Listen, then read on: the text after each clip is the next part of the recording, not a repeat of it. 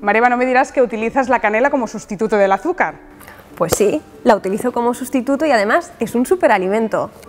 Piensa que no solo no lleva azúcares ni calorías, sino que además te va a regular los picos de azúcar en sangre, con lo que es ideal para diabéticos.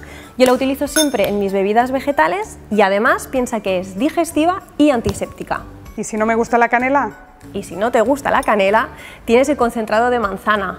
Es dulce, pero es natural, muchísimo mejor que cualquier azúcar blanco refinado. Y además lo podrás utilizar también para magdalenas, galletas, todo lo que tú hagas en casa a nivel de bollería, muchísimo más saludable que lo industrial.